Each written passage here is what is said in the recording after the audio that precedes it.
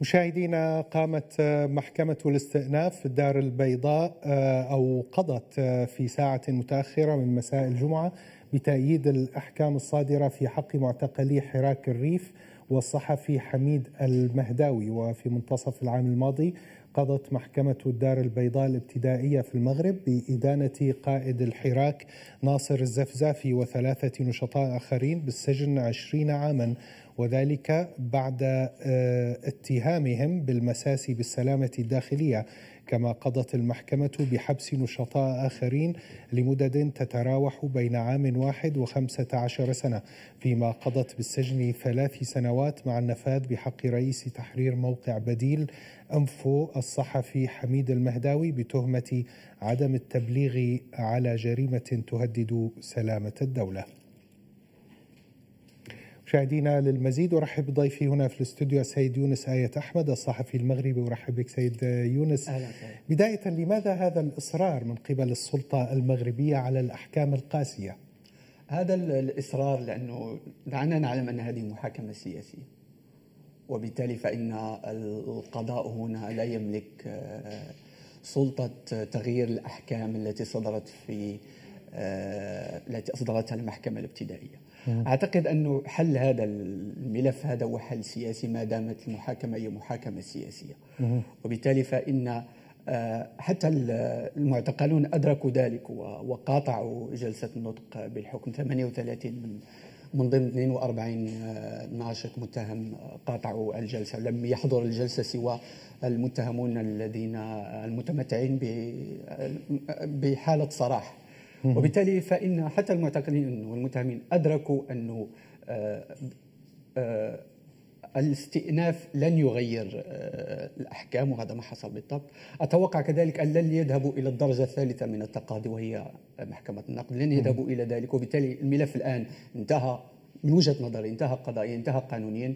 الآن ما ما ينتظره النشطاء الحقوقيون المغاربة هو الحل السياسي نعم. لهذا الملف يعني تهمة المس بسلامة الأمن الداخلي في البلاد ما هو شرحها؟ أنا لم أفهمها هذا هذا تكييف محاولة تكييف قانوني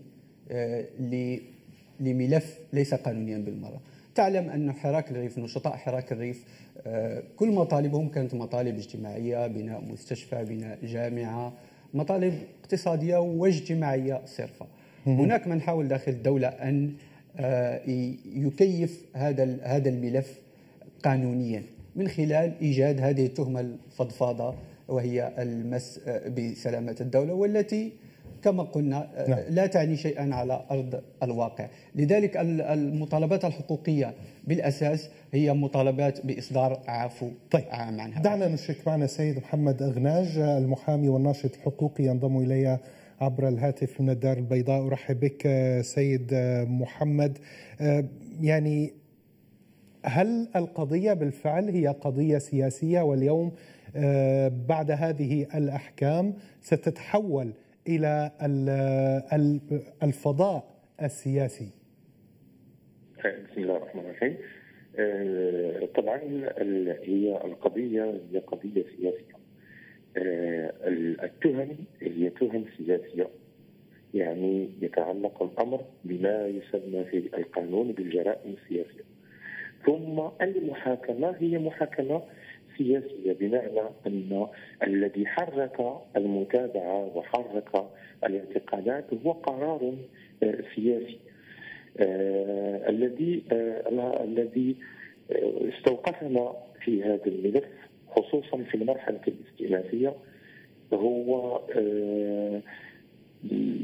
أن الملف لم يأخذ وقته في الدراسة والمناقشة. لدينا 38 معتقلا ولدينا الصحفي حميد المهتوي في المعتقل كذلك ثم لدينا أربعة متهمين في حالة سراح لدينا عشرات التهم ما بين جنايات وجنح لدينا ملف ضخم فيه تقريبا 12 ألف صفحة.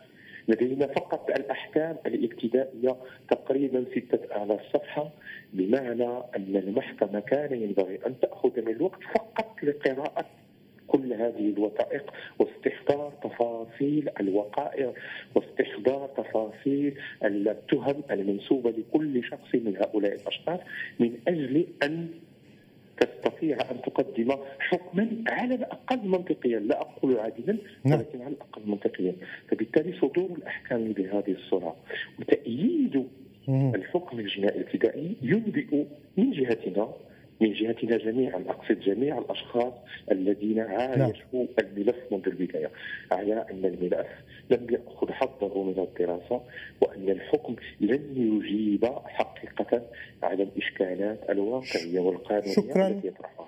شكرا لك سيد محمد أغناج المحامي والناشط الحقوقي. كنت معي عبر الهاتف من الدار البيضاء والمعذرة المقاطعة لضيق الوقت سيد يونس بأقل من دقيقة. اليوم هذه الأحكام يعني أدت إلى مظاهرات. هل صب النظام الزيت على النار في هذا؟ وبالتالي لم يعد هناك مخرج إلا بعفو ملكي ربما. آه، المظاهرات كانت موجودة قبل صدور الحكم الابتدائي وبعد صدور الحكم الابتدائي وكذلك قبل صدور ال- الحكم الاستئنافي. أنا أتوقع أن المخرج حاليا من جانبين. هناك حسب دستور آه، الفصل آه، آه، 71 يتيح للبرلمان إصدار قانون عفو عام على جميع المعتقلين السياسيين. وهناك الفصل 58 من الدستور الذي يعطي للملك صلاحية إصدار عفو خاص على هؤلاء المعتقلين. وبالتالي الآن الكل ينتظر عائلات المتهم المعتقلين تنتظر النشطاء الحقوقيين ينتظرون فعلا إيجاد حل نعم. عبر العفو على المعتقلين. أشكرك جزيلا سيد يونس آية أحمد الصحفي المغربي على حضورك معنا. كما أشكركم مشاهدينا على حسن المتابعة ألقاكم بخير.